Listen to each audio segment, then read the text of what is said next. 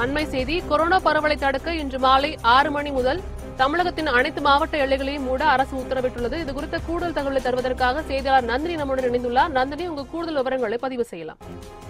வணக்கம் கிருத்திகா தமிழக அரசு சார்பில் ஒரு புதிய அறிவிப்பானதை தமிழக முதலமைச்சர் சட்டப்பேரவையில் தற்போது அறிவித்திருக்கிறார். அதாவது சென்னை காஞ்சிபுரம் ஈரோடு ஆகிய மாவட்டத்தில் தொற்று நோய்கள் சட்டம்படி மாவட்ட எல்லைகள் அனைத்தும் இன்று மாலை முதல் மூடப்படும் எனவும் தமிழக முதலமைச்சர் ஒரு புதிய உத்தரவு பிறப்பித்திருக்கிறார். அதே போன்று அத்தியாவசியம் தவிர மற்ற இயக்கம் முற்றிலுமாக தடை செய்யப்படும் எனவும் வணிக வளாகங்கள் திரையரங்கள் கேளிக்கை விடுதிகள் உள்ளிட்ட மக்கள் அதிக கூடக்கூடிய இடங்கள் இயங்காது எனவும் அதே போன்று சும- சுகாதாரம் மருத்துவத்துறை உள்ளாட்சி அமைப்புகள் காவல்துறை தொடர்ந்து இயங்கும் எனவும் தனியார் நிறுவனங்களில் மருத்துவர்கள் தொடர்ந்து தனியார் நிறுவனங்கள் மற்றும் மருத்துவமனைகள் தொடர்ந்து இயங்கும் எனவும் தமிழக முதலமைச்சர் தெரிவித்திருக்கிறார். அதே போன்று அத்தியாவசிய கட்டிட பணிகள் தவிர வேறு எந்த கட்டிட பணிகளும் இயக்கப்படாது எனவும் வேலைக்கு வரையாத தொழிலாளர்களுக்கு சம்பளம் பிடிக்கக்கூடாது எனவும் வெளி மாநிலத்தில் இருந்து வந்தவர்கள் தாமாகவே தனிமைப்படுத்திக் கொள்ள வேண்டும் எனவும் அஹ், அதே போன்று அவர்களுக்கு ஏதேனும் அறிகுறி இருக்கும் பட்சத்தில் அரசு மருத்துவமனைகள் அல்லது தனியார் மருத்துவமனைகளில் பரிசோதனை செய்து கொள்ளலாம் எனவும் குடும்ப உறுப்பினர்களுக்கும் இதனை பரவாமல்